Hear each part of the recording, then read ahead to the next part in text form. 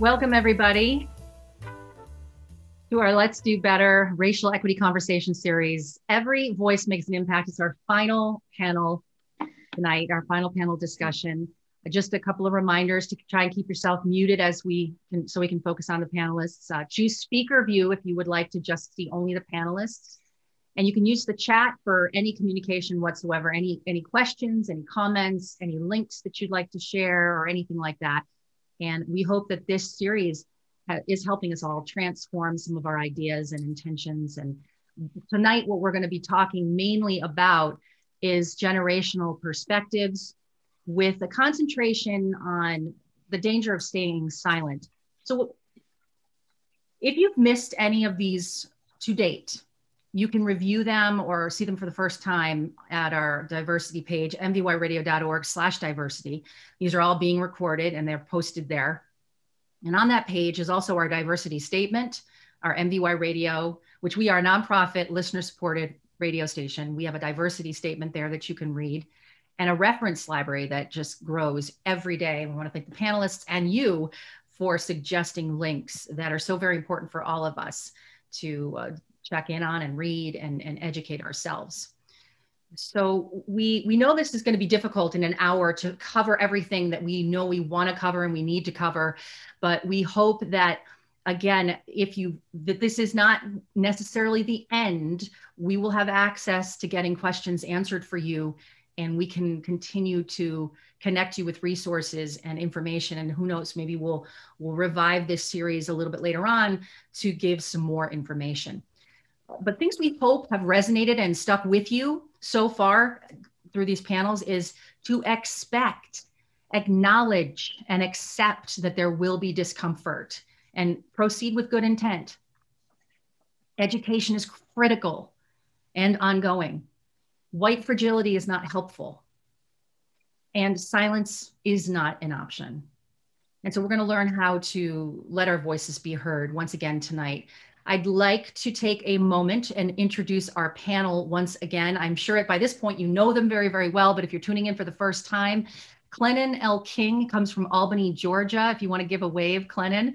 He spent many years in Boston as a journalist, winning many awards, including Emmys and uh, National Academy of Television Arts and Sciences Awards and an Edward R. Murrow and National Association of Black Journalists News Award. The work he does is, is so immersive and and he shines a light on lesser known stories that we should all know. And in that case in point this sunday we're going to do a, uh, a segment on my on the vineyard current with his the name of his film uh, the film company which is st augustine monica films. So okay. check him out. Oh go ahead clennon were you going to say something? That wasn't okay.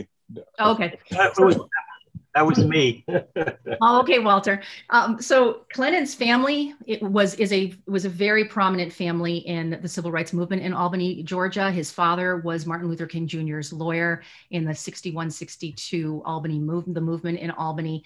And he there's so much history with him. And I urge you to go to our, our diversity page to read more. Sandy Pimentel is the co-founder of the Martha's Vineyard Diversity Coalition. She graduated from UMass Boston with a degree in management of human services and has spent her whole life locally and on a national level helping to improve the quality of life for all of us, especially children and teens as an educator and, and someone who has raised educators. She has an she's the author of blind acceptance which is a, another book that I, you know we have links to all of these to the authors on our panel on our diversity page too, where you can go and read about these and get the books. Somebody had asked about that, so we made that happen. Pete Ambrositis, I didn't call you Peter, Pete. Uh, you're in you're in good standing today. He's a senior client partner for Korn Ferry, and it brings 30 years of business and consulting experience, specializing in the development of and importance of diversity strategies.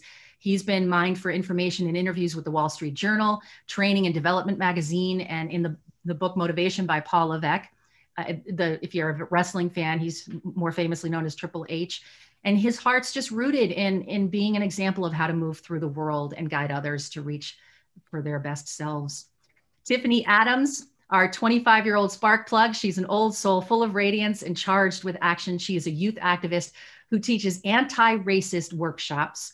She's active on all fronts and ready to engage at a moment's notice, no matter where she is, to help create opportunities for us to make life equitable for all of us, um, to draw attention to things that we don't, that we that we do that we may not know that we do to, that perpetuates systemic racism and reveal what we can do instead to be part of this new wave this wave that's finally going to wash away all of this racist living and focus on uh, the differences of race she does her work with nonprofit Calling All Crows. She's also the co-founder of the Glitty Gang Collective LLC, newly formed and elevating Black communities through faith, activism, entertainment, and service. So, Tiffany, thank you for being here. Michael McAuliffe, he's been practicing law for 30 years, and uh, some of the highlights again you know there's there these lists are long with the the credit the cred that these these panelists bring he was the he served as the state attorney in the in and for the 15th judicial court palm beach county as state attorney. He led efforts to adopt and implement ethics reforms in the county resulting in a series of definitive grand jury reports recommending the establishment of an independent inspector general and ethics commission.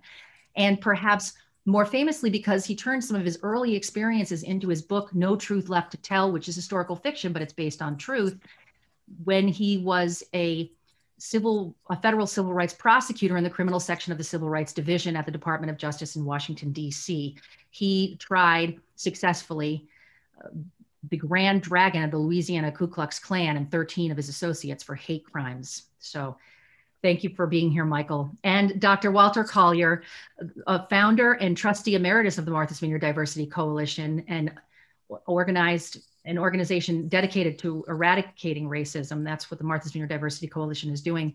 He's been a consultant for the US Department of Health and Human Services, National Science Foundation, US Department of Defense. He's written several books and articles. In his most recent book called Why Racism Persists An Uncomfortable Truth, he has been speaking on a wide range of topics, also in educating us. And thank you for being here. I want to thank him for inspiring these panel discussions and helping us get our footing out there in the world with these panels. So, what we would like to start with today is you, Dr. Collier, talking about our generational perspectives and the danger of staying silent.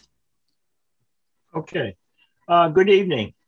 Uh, let me begin by saying something that may be obvious to some and maybe not to others, and that racism is not innate, it is a learned behavior, it is a learned attitude.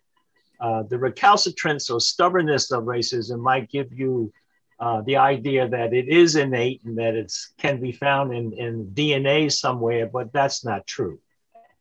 And the, the, the conditioning, the teaching uh, actually takes place in the home at the kitchen table.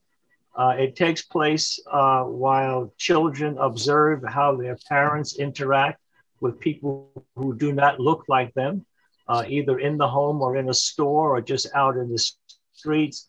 And so it's a learning process.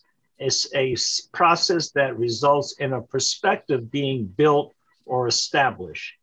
And one of our main or umbrella uh, topic for tonight uh, is generational perspective. Being that we are not only becoming more and more multiracial, we are a multi generational society. And the cross currents of youthful perspectives versus older people's perspectives is something that is going to greatly impact the progress we make or do not make with regard to eradicating racism. So I want to start uh, at that point, uh, taking a look at the, the perspectives and views of the younger generation. And here I'm talking about teenagers and at least the lower half of millennials.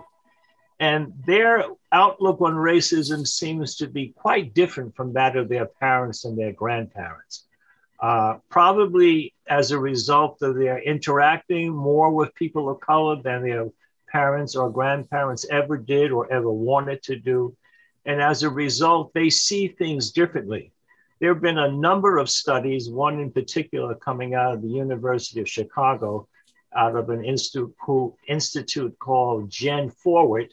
Uh, they have found that younger whites are more attuned and sensitive to things such as police brutality of people of color, uh, healthcare disparity, uh, and discrimination within the workplace.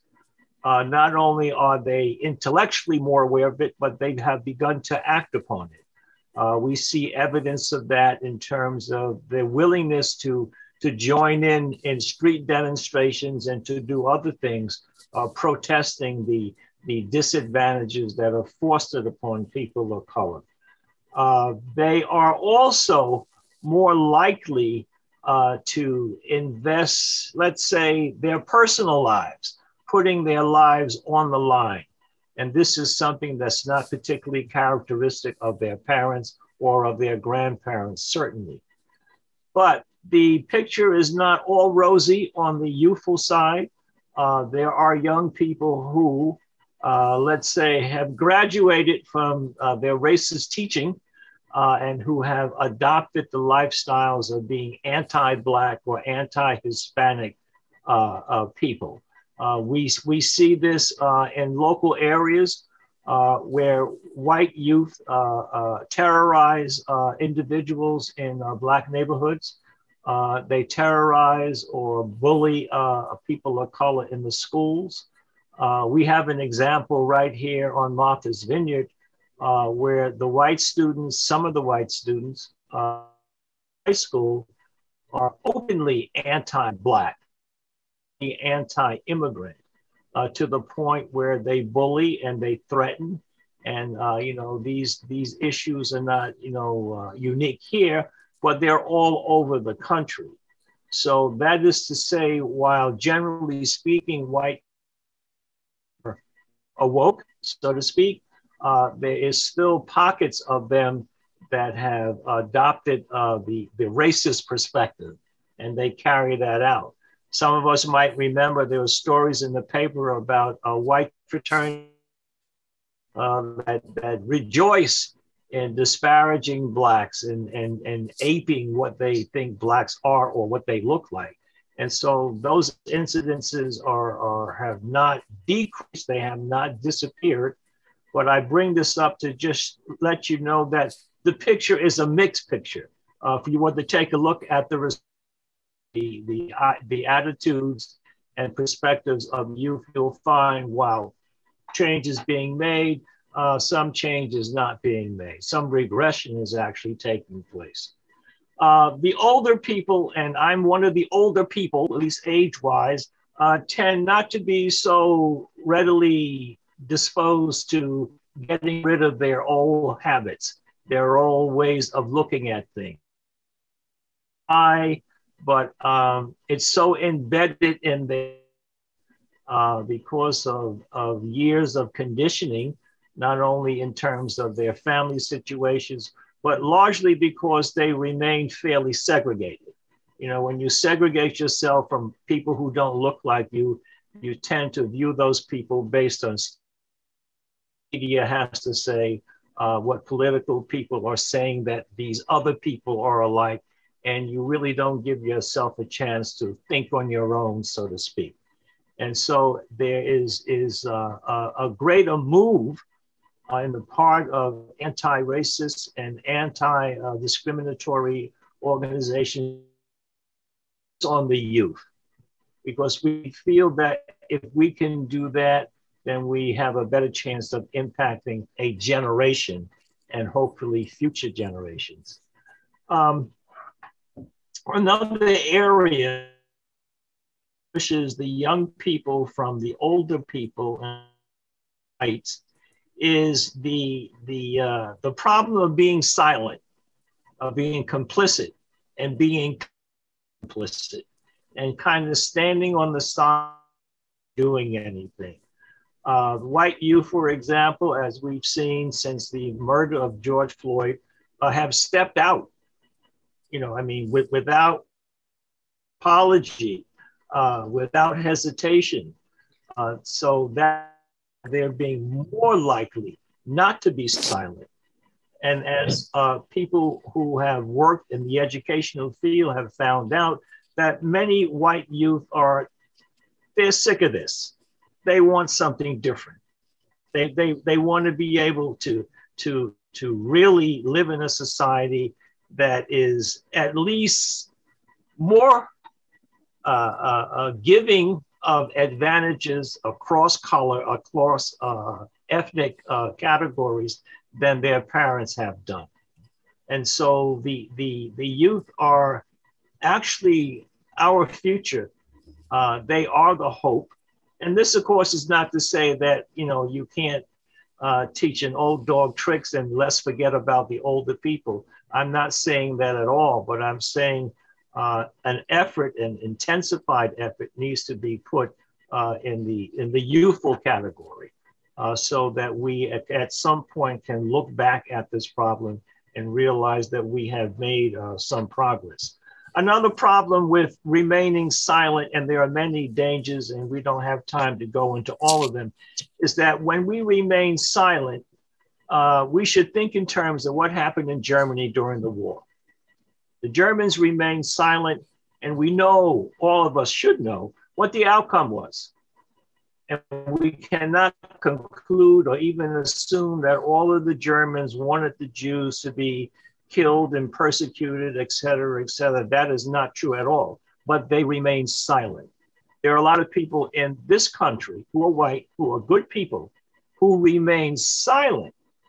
And what happens to that? You open the door for a despot or some uh, uh, uh, uh, mad person, quote unquote, to enter into a leadership position and lead all of us down a very, very dark path.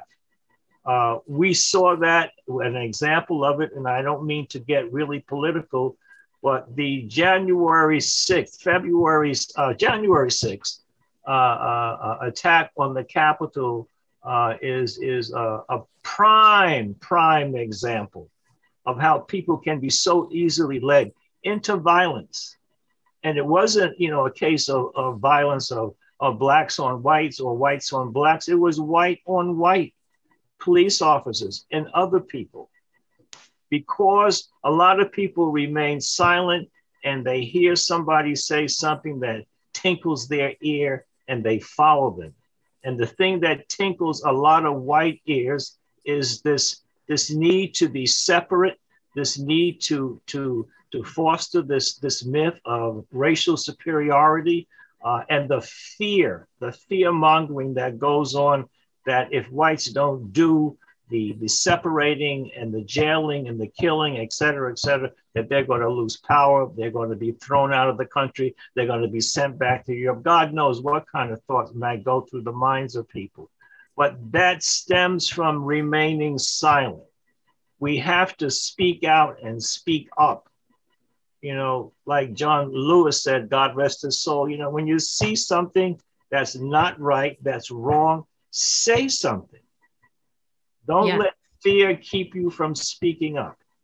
You know, let us learn from the younger generation that is speaking up more.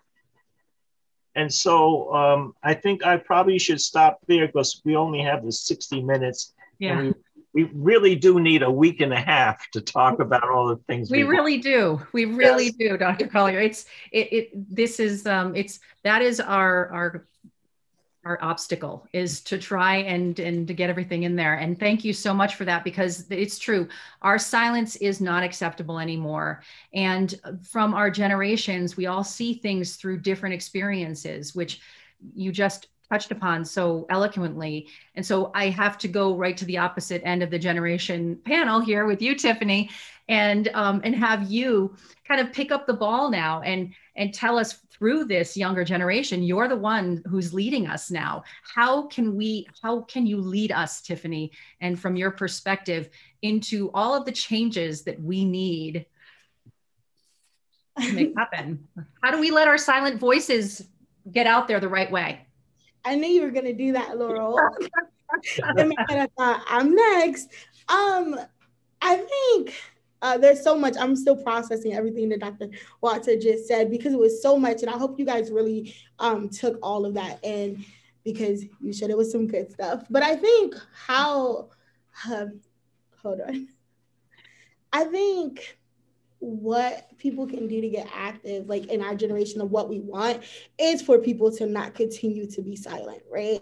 Is to actually dismantle I think, and I think I'm a huge person of continuously saying policies, legislation, policies, legislation, because it's not just you showing up at a protest and utilizing performative allyship. Like that's a, exactly what we've seen from a lot of like white people and what do you mean by that, Tiffany? Now, can you can you explain what performative? Just explain what that is for people who might not know. Yeah. It's basically you going to a protest and you going to these things for a photo op. So it's the people who literally go and they're like, oh, I have my fist in the air and now I have this thing that I can put on Facebook and social media to make it seem like I did something big. I did this big deal. When in reality, what petitions have you signed? What structures have you tried to dismantle? Have you been committed to personal growth? It's not just showing up to a protest, it's the work that you do behind the scenes that also matters. And I think that this new generation, like, something that I get worried about is this like this performative allyship because I see it a lot and I teach anti-racist trainings and I see it a lot and so I think, yeah, my the generation that's younger than me, because I'm actually, I don't think I'm in that generation, but that generation is doing so many great things, and so is my generation. But I think that it goes beyond just showing up. It goes beyond just doing that. And I think structures, dismantling structures is like key, and also not utilizing like cultural appropriation Ugh, I'm touching something. I shouldn't go there yet, but no, also please, please go there. Please go there because we do need this. Tiffany, really, this is exactly why we're here. Is we need to know what is not working and what is is actually maybe even hurting or harming. So do not hold back. This is not why I asked you to be on the panel. go for it yeah i just think overall like we like what we're seeing right now in this country is a lot of performative allyship it's a lot of like people not taking the extra mile and understanding that it is not a sprint. Like everyone, everyone, it is not a sprint. Like the fight to equity is not a sprint, it is a marathon. And I think so many people go into this thinking, oh, I'm gonna go to these protests and I'm gonna go do this like for six months and then it's over. No, like Black people have to live with this every single day of their lives. So, white people, you don't get to allow it to just be a sprint and then burn out because you also didn't take care of you, right? And so I just think that like within my generation, like a lot of what I see is like people performing and acting like they actually care. But you can also tell when someone cares with how much they do, not just at one protest, but have you come to the one six months later? What are you going to do on March 6th when everyone is gearing up for the um, the court case for George Floyd? Or did we forget about him? Yeah, that's thank you, Tiffany. Thank you very much. These are the yes, yes, Walter. I just want to add one little quick thing. Uh, I, of course, agree with everything that Tiffany just said, but uh, what's missing is education. Uh, one of the things that our school systems fail to provide the students with anymore is civics and how government is structured and how it works. And so we have found through research that a lot of young people just don't know how to go behind the scenes to contact their legislative representatives, how to uh, impact uh, sessions that are discussing something at a town hall.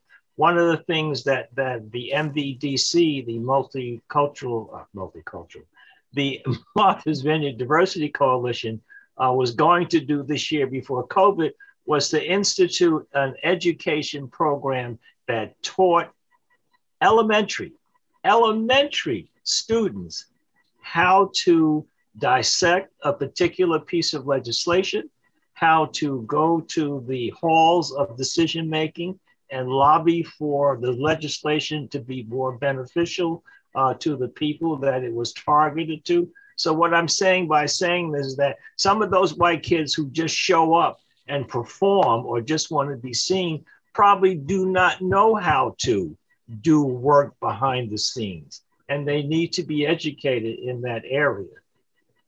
Which which is exactly that's a lot of commentary in about the education and how important that is and getting into those educational institutes. Teachers wanting to you know get into the classrooms and start younger and younger and younger.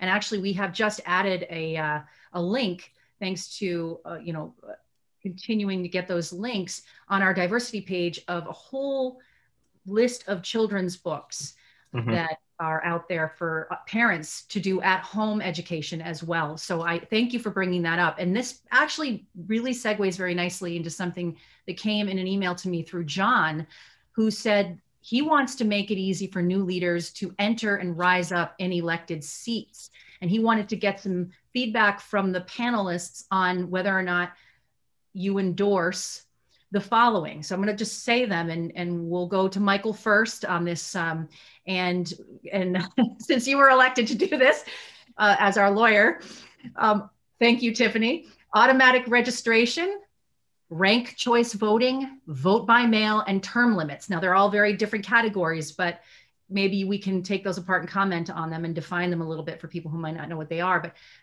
in the in the um, in the spirit of us trying to get out there and and not stay silent and be constructive and, and not be performative, but to be uh, effective.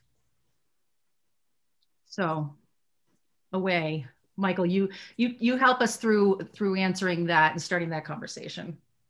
Well, I, I would say from a personal perspective, anything that broadens the opportunity to exercise your right to vote uh, has my support personally and I, I think has self-evident merit to it. Um, I think claims of widespread voting fraud in America are grossly overblown and used for uh, other people's ends. And um, so any healthy discussion um, needs to recognize that number one, the premise is almost always false. It's not that uh, voting irregularities don't exist, they've always existed, they always will exist to some degree but to use it as an excuse or as a as a barrier to broadening the base of people to vote uh, is just wrong. So uh, so automatic registration, I, I, you know, that can mean different things in different jurisdictions. But if that means that when you get a license or that when you uh, make contacts with your uh, when you uh, buy a home or you, you, know if you become a resident in a jurisdiction and there's automatic or presumptive voter registration, uh, that seems to me to be to be meritorious. Um, uh, rank order, e- either uh, preferential or proportional or rank order voting, two slightly different things, um, is uh, you know that's a big separate discussion to have, and and I think it it it has um, it's worthy of of discussion.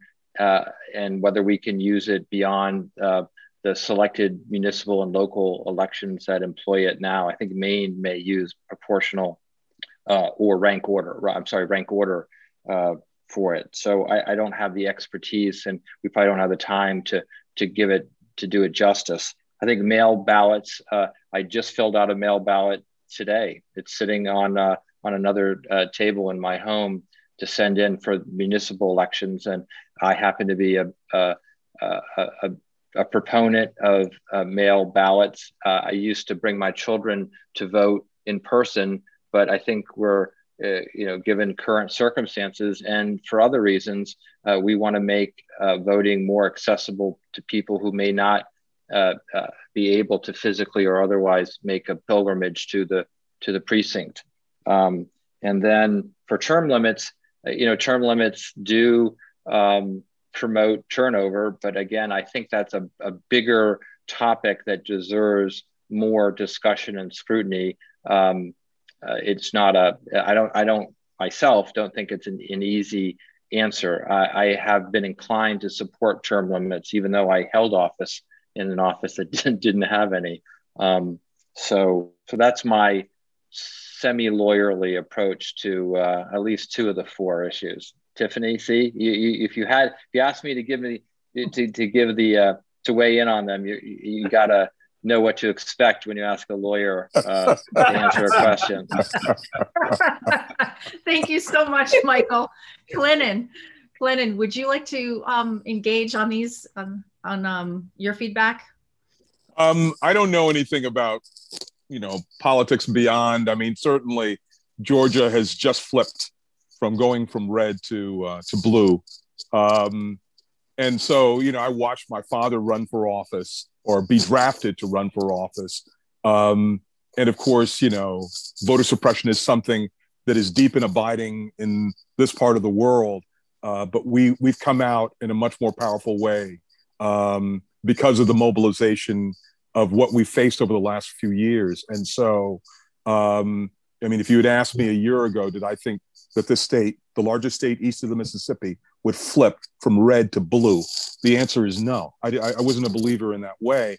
I made sure that I produced a lot of videos that were about voting rights and against voter suppression.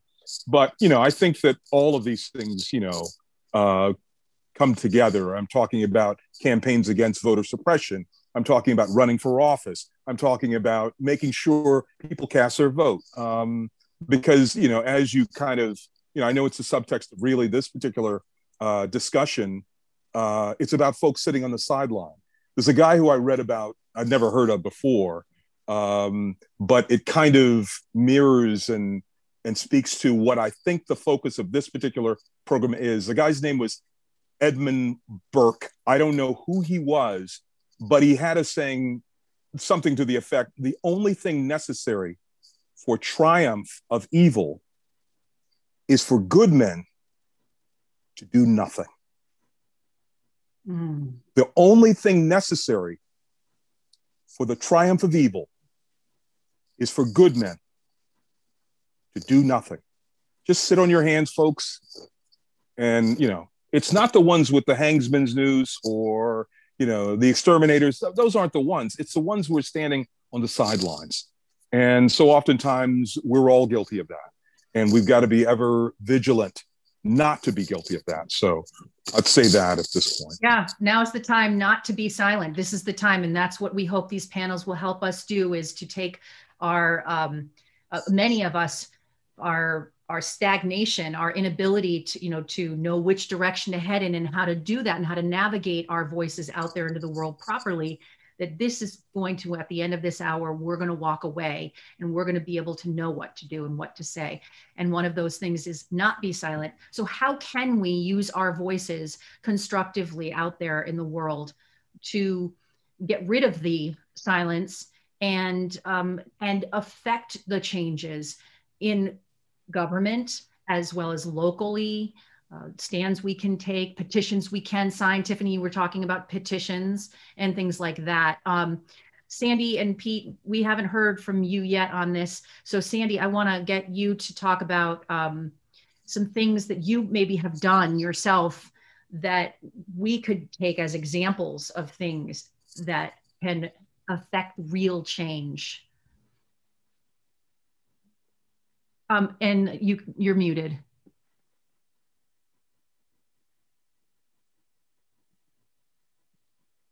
So sorry. Um, I think, thank you for that, Laurel. Um, I think that there are two tracks to action. And I think that a lot of people who are listening to this, this panel, they really want to know what to do. And many, of, and I think the issue of silence is a big one because I think many of us who are older in white, getting to the generational, have been conditioned to be more fragile and want things to be nice and and we're not used to to going head on into things. So that makes it more difficult. But i do think there are things that we can do and that we are doing that are making a difference in our own communities. Um, i think the first thing is to build trust with people who don't look like me and to, to make sure that we make every effort to make to develop relationships of trust and that we look inward to ourselves and understand ourselves so that we can move forward in an effective way. That's one thing as individuals. And then what Walter and I have been engaged in is the Martha's Vineyard Diversity Coalition. And we're looking primarily at institutions because many of us have been working, as you mentioned earlier, for many years. And I think we've made a difference in, in terms of some of us within ourselves and and with other individuals but institutions remain the same So if we're going to have action, it really needs to be looking at institutions and figuring out how we can help them to be more uh, aware and more and and to, to move into a culture of inclusion. Um, and we are actually working on four different tracks. We're looking at health disparities, and we're working with COVID right now, really trying to make sure that um, that there's equity in the way that the, the, the vaccine is delivered. There are some of us are volunteering, you know, to, to do that. And that's been working, I think, pretty well. We have an education committee. We're looking at curriculum. We have a library project that is bringing books to every library across the island. That's an action, a concrete action. Um, we're looking at criminal justice. We've been uh, vetting and, and researching um, uh, effective bias training, anti-bias training for the police, and we've met, we've secured funding for six police departments across the island. There's a lot going on, and I think you know we, we need to look within ourselves and look to our communities. And there are a lot of people who want to make a difference, and I think silence is deadly as in, in terms and i think that that uh, walter referred to, to germany. I think it's a it's a reasonable analogy. So i mean i, and anything that i've done in in the last 50 years it's all based on relationships of trust. And if you're going to work in institutions there need to be people who want to make a difference who trust each other.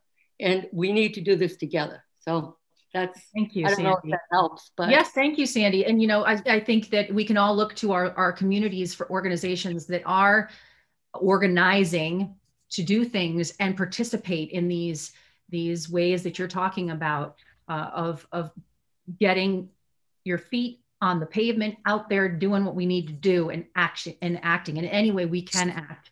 You know big uh, did Clennon, did you have something? No no. Okay. I um so uh, this question actually because this this rolls very nicely into the fact that you know a lot of what speaks out there in the world is big business. And uh, Anne wants to hear from you, Pete, which is perfect because we haven't heard from you yet, and I wanted to get you on the hot seat. So um, she wants to hear you talk about corporate fragility, and do you think that Price Waterhouse Cooper's CEO is is standing out right now? Absolutely, and it, it goes beyond that. honestly, the, Laurel, the, the truth is is that over the past 15 years that I've been specifically focusing in on diversity and inclusion work in the corporate environment, one of the big shifts that's happened is that there are more board um, boards that are requiring more representation from uh, top leaders within their organizations, and top leaders are being forced to look at their talent pipeline up and down the organization because you can throw out numbers that say, well, you know, we have the same percentage of, um, you name the group, in this case, Black talent, that represents the population. But when you get nearer and nearer to the top of the organization, it becomes a lot like me, right? It tends to be male dominated, white, and there isn't the representation that is required. And these boards are really pushing senior leaders to become more diverse at the top of the house, including at the board level.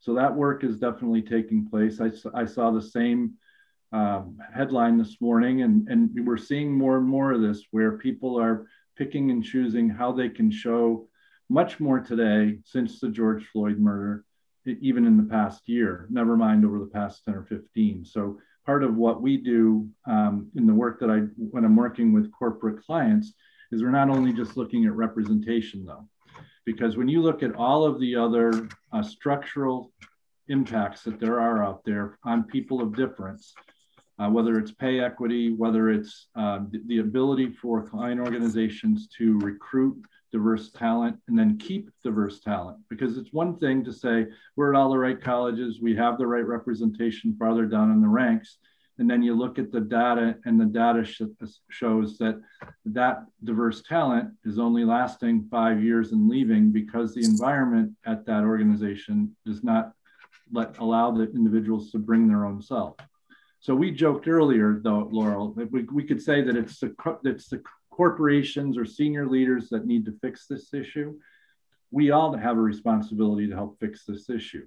And we joked at the beginning before we went on the air when you were asking Tiffany about her, her shirt. And, you know, it was an innocent question. And I gave you some positive feedback about that's a really simple way for us to have the intestinal fortitude as people that might be in the majority to start feeling comfortable with asking questions about aspects of diversity that you're you don't know about or that you're not comfortable asking about because until we all learn to understand each other more effectively it's going to be very difficult for us to collaborate and work towards a common goal in my opinion from a personal perspective because it isn't just all those ceos or board of directors. It's all of us when we're at work and when we're at home for people who might not know what Peter was referring to, thank you for that, Peter. I um, you can see Tiffany's beautiful top, and I had asked her what it was called, and and Tiffany, what did you say? Dashiki. Yes. A dashiki. That's what it's. what, It's a dashiki, right? Yeah. And so we were talking about that, and um, and yes, and so those are simple ways. Pete is what you're saying. Um, an innocent comment like that can go can make an um, an impact. So um, when we talk about big business, is is it a lot of people talk about we we vote with our money, you know, we pay. So how can so how we go out into the world and engage with businesses? How what are the what are the best ways to do that? How can we uh, do what you just were talking about, Pete, and be part of this change out there and letting businesses know that we want to see more diversity and that we want things to happen? Well, the, the vote with the pocketbook co- comment is, is is more visible today than ever, right? I mean, we, I hear my wife Ruth talk about it all the time that she's not going to buy from company XYZ any longer because she, she her particular cause happens to be about stuff clothing being imported from outside of North America and those working conditions are unacceptable. We, we the more we're informed, the more we make our um, to take this as a personal responsibility, the more likely it is that you can support certain businesses or certain, certain corporations based on their public stand on issues. And what you saw today with the CEO for PricewaterhouseCoopers was that them taking a stand that they're going to communicate to the outside world what their numbers represent. And then you can decide whether or not those numbers are good or bad, because as we all know, numbers can be manipulated to whatever cause that you're looking for, but you need to be careful about having a full understanding and not just going down, uh, you know, a Facebook uh, tunnel of misinformation that could potentially be out there. So more than one source is also a good idea to verify your position. Thanks, Pete. So where we're at right now is we've got 15 minutes left and we really want to get we want to get our our boots into action, an action plan. Uh, so we've been talking a lot uh, about silence and we've been talking about changing cultures and business cultures, community culture, uh, cultures in our own households and families and things, and, and arming ourselves with ways we can talk about these things and and proceeding with it with the acknowledgement and acceptance that discomfort is part of the is part of the game. It's part of the discussion. It's part of the reality. And we need to go out there. So, what I would love to ask the panelists right now is if you can reflect on what we've talked about so far, because we're all coming from different backgrounds and different experiences and different sectors of the world and, and of you know industry and and home life where we if we're going to come down to the very nucleus of things. What is what are the most important things to your mind's eye and your heart that we need to take away from this for us? And and and some real things like pick three things that we can do right this moment after we get off the panel that or tomorrow or this week that we can do to affect change. And let's start with you clennon well, um, you know, I go back to what I had said earlier. Um, I think the basis of all loves is self love. Um, and while I know that the focus of this uh, diversity conversation has in large part been with sort of a wide audience, you know, I really want to speak to Black parents that for as much as we have high hopes that lots will change during our lifetime, we cannot afford to put at risk our most valuable assets in our children. And they must be aware infinitely that they are Black in a white world and they have to navigate accordingly, recognizing that this world is not well and that they need to walk around, as my father always put, with an imaginary mirror in their back pocket to always remind them who they are uh, so that we can live another day. You know, for as much as we have high hopes that everything will be, we'll have this sort of kumbaya, we'll have an enlightenment, all of that, that's all fine and well. But in the meantime, the affirmative action that we have, the affirmative responsibility that we have as a community, as a Black community, is to see about our most valuable assets. And a part of that is never giving them the impression that things have changed that much. They haven't. And so let's take care of that first. So self-love first, and then we'll go on to these other these other concerns. So acknowledge no, Clennon, that's really real. I mean, we have to acknowledge right now that we are still living in a world that is very, very frightening and very, and not set up to make it comfortable for people with black skin.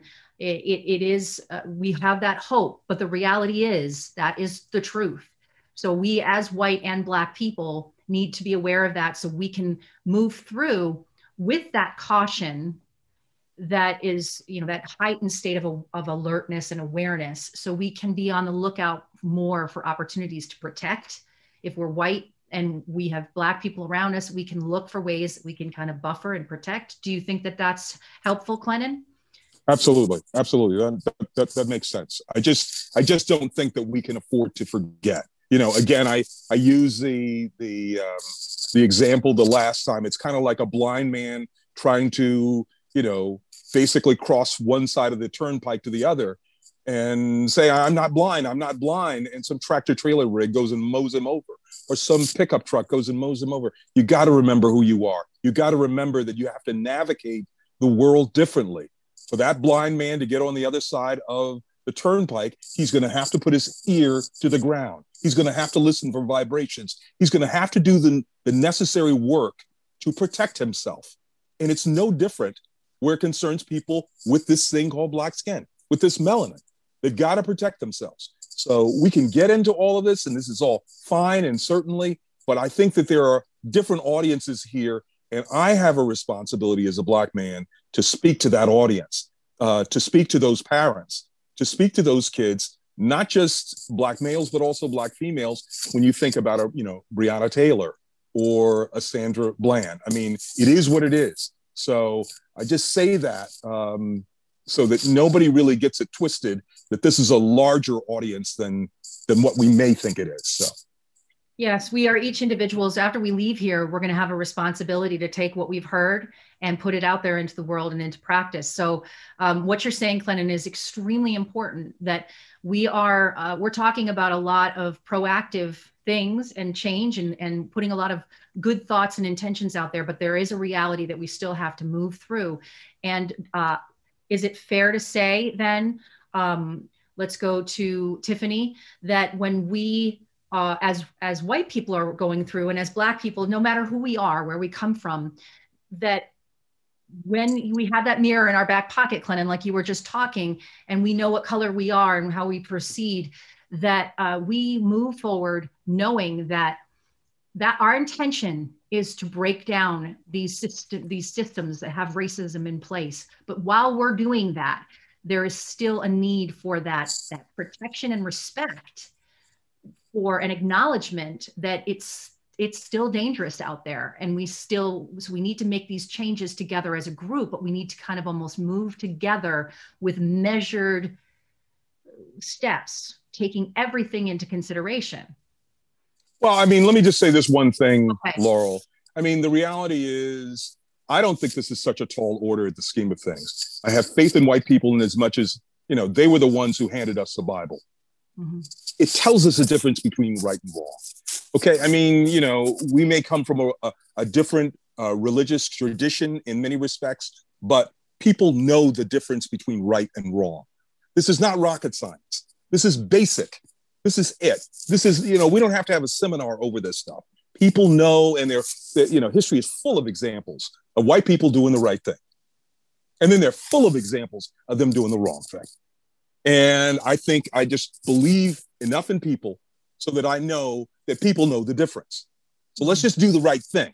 Yeah. In the meantime, Black folk got to remember who they are. In the meantime. Yep, got so. it. Tip, that's thank you. Tiffany?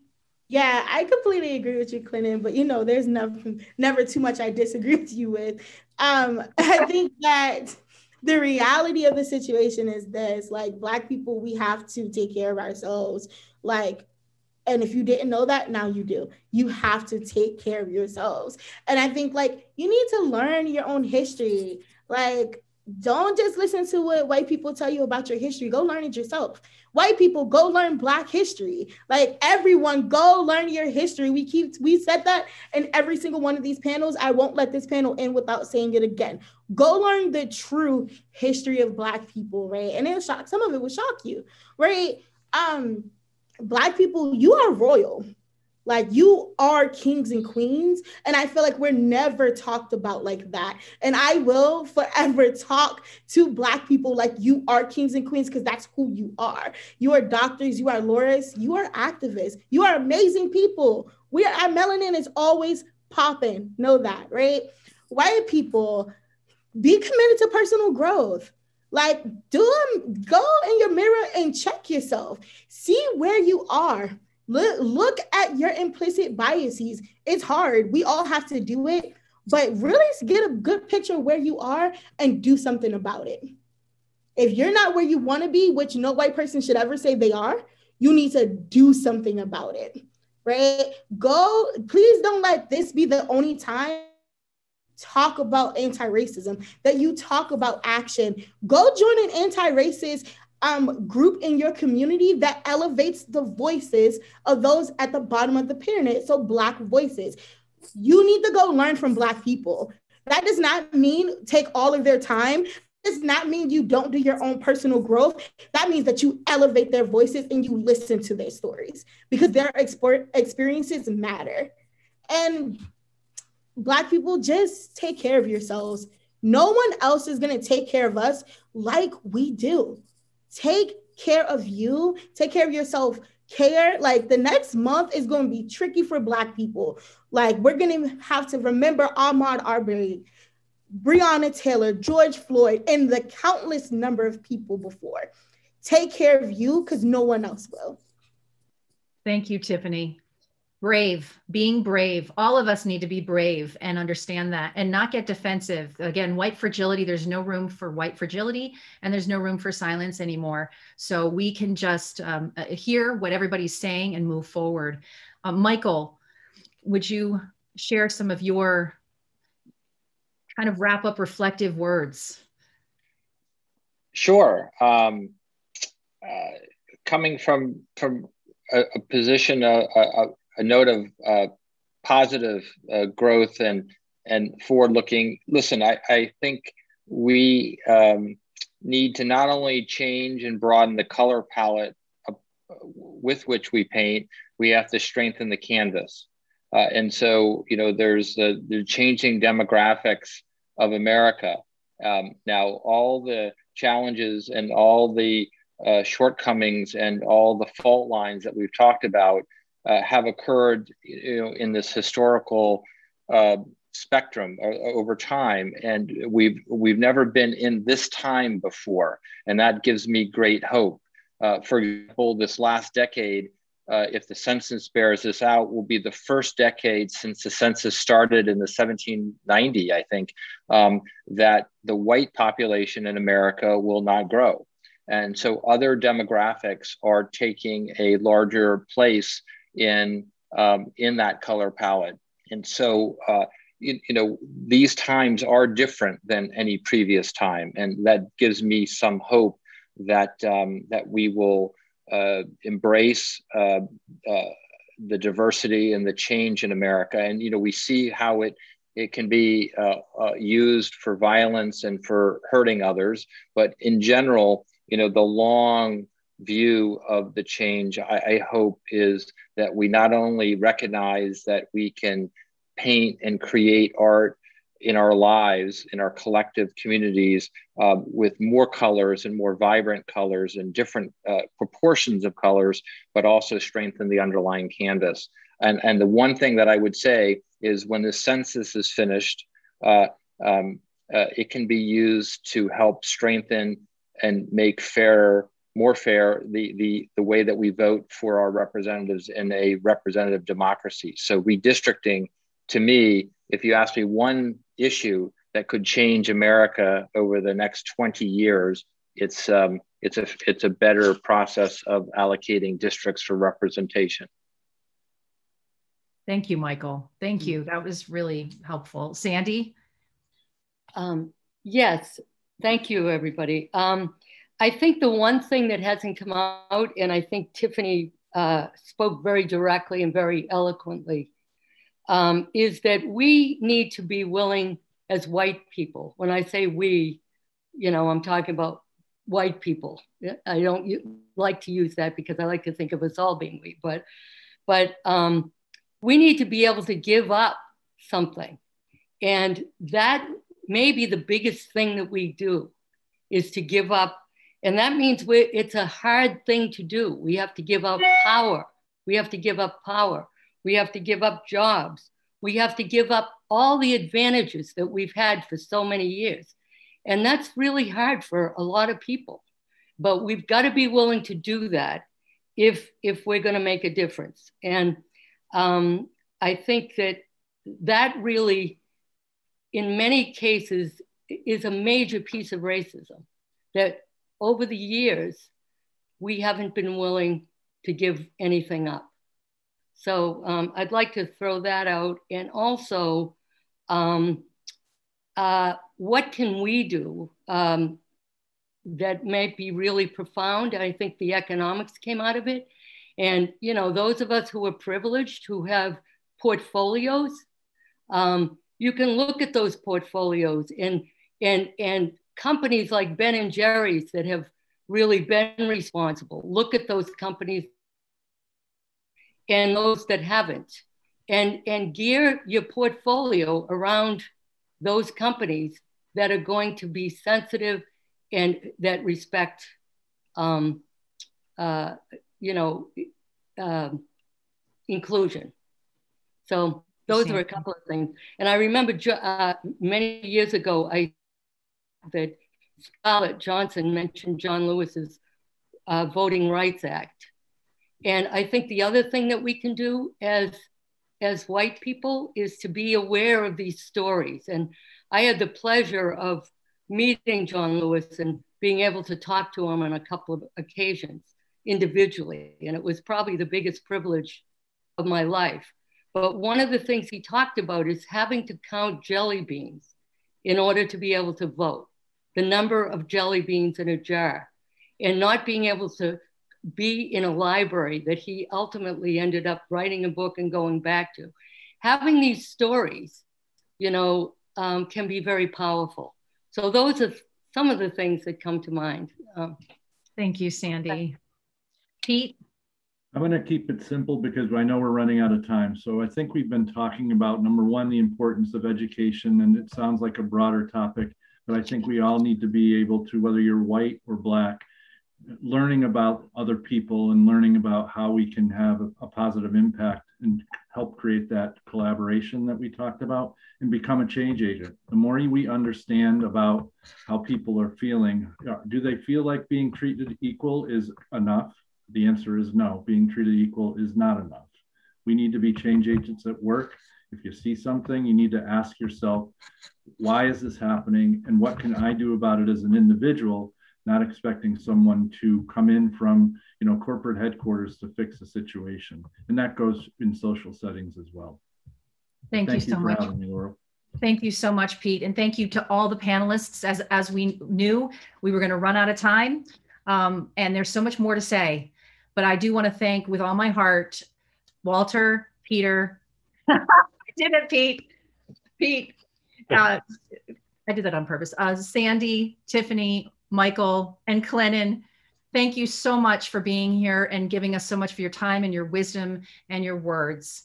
Uh, we will will continue the conversation in our own homes now. And I want to just uh, again reflect on some of the things we hope you take away from this. And the biggest thing is don't stay silent. Educate yourself. I love what Tiffany, what you always say is we've got to be brave on both sides, black and white, and any other color and any other uh, culture. We, we just need to be brave humans to be able to go out there, have these conversations, which we will encounter discomfort with. It's going to be okay. Uh, we can be comfortable being uncomfortable and being able to ask if we go in with the right intent. Everyone hears something different, you know, during listening experiences and, and conversations. So if we can try to remember more often than not that the intentions are good with whoever we're speaking with, and that you know we think we are hearing what we think we are hearing might not be what we're hearing so we can proceed with curiosity and and confidence and kindness and good intent and ask the questions give people an opportunity to before moving to that next level of emotion to explain themselves so that we can have these productive conversations. And then we can go out into the world and make real changes. Pete just said be a change maker. Um, there's we can do it in so many different places. It's needed in so many different places. And self-love as clennon said and personal growth as tiffany said uh, strengthen our canvas as michael said and and, and walter and sandy uh, with everything they do with the martha's vineyard diversity coalition. This world is not well but we all have an opportunity to be a part of bringing a cure, bringing a salve, bringing something that is better than what we brought yesterday. So I want to thank AHA New Bedford for underwriting this series. These are being recorded. They're all on our diversity page at mvyradio.org slash diversity. We have our diversity library there. Uh, on behalf of MVY Radio and, and everybody that helped make this happen, we're a nonprofit listener supported radio station. We, we take our voice very seriously in the way we engage with the community. And we hope that these panels have been useful to you. Again, it's nothing, no situation is ever perfect but we we've invited you in eh, to these to hear these incredibly powerful voices from lots of different walks of, of life and living out there and, and we're really hoping that you walk away with something that resonates deeply and has changed you in some way but embrace the discomfort and be brave and thank you so much for your time your attention and for showing up because that's that's the first step is showing up with a good heart so thank you once again to everybody on the panel and to you. And I, uh, I invite you to continue to email me with questions, laurel at mvyradio.org and visit our diversity page and, and continue to engage with us and tell us what you want to hear in the future. Thank you so very, very much for being here. Time for, oh, before you go, if you've already hopped off, I obviously you're not listening to me, but we have one more. We always end with our joyful moment, our black joy. And Tiffany, thank you for this. So let's play our video and go off feeling inspired. Joy is more than laugh lines, more than what our faces reveal. Joy is one of our greatest strengths. How we express it how it moves through our bodies, but it's not always easy. To be black and joyful is to resist, to defy limitations. Introducing in support of Black Joy.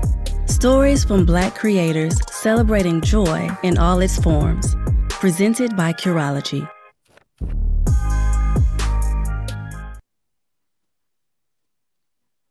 that's a, a, good place to start too for if you want to go get more information curology has some wonderful videos inspiring so thank you again for your presence and go out and change the world in every way you can